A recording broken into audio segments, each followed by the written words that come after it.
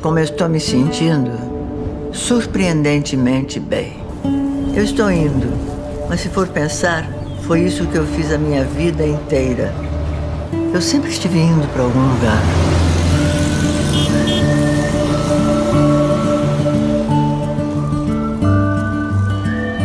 Eu nasci no final dos anos 40.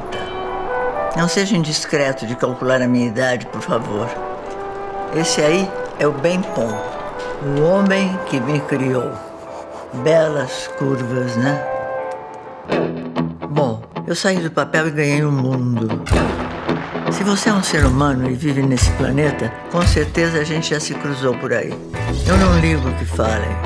Eu sou rodada.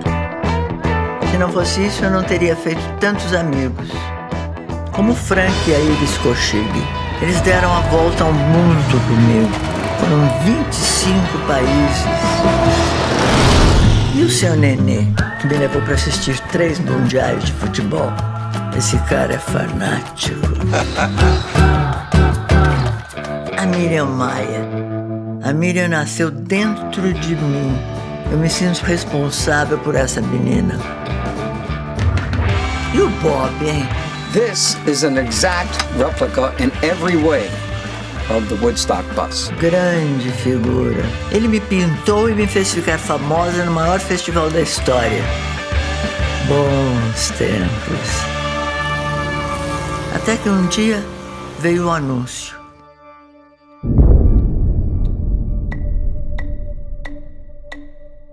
Começou a contagem regressiva para a despedida da Kombi no Brasil. The VW is to stop making the Kombi. Once these roll off the production line, the Kombi is not being replaced.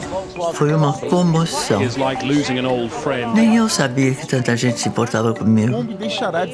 Então eu percebi que não dava para ir embora assim, sem mais nem menos. Oh, it'll be the end of an era not seeing one of those around. Eu fiz um testamento e coloquei nele algumas pessoas que foram muito especiais. Eu tinha que homenagear esses caras. Pelé. Pro seu nenê, eu deixei a minha calota autografada pelo Pelé. Para Miriam Maia, eu deixei meu primeiro esboço, como eu era quando eu nasci. Pro Frank e a Iris, eu deixei o meu odômetro, com a maior quilometragem possível. Pro Bob, eu deixei um kit de arte no meu formato. Ele já está até usando. E para o Rolando Massinha, que me transformou numa cantina italiana, eu deixei forminhas de ravioli no meu formato. Uma a uma, eu entreguei todas as minhas heranças pelo mundo inteiro. Check that out. Hey, it's got her name on it.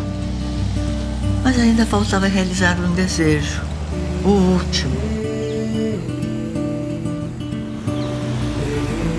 Eu precisava rever uma pessoa.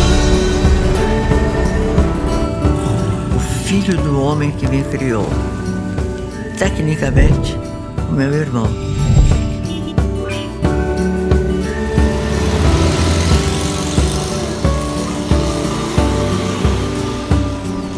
Como eu estou me sentindo? Surpreendentemente bem.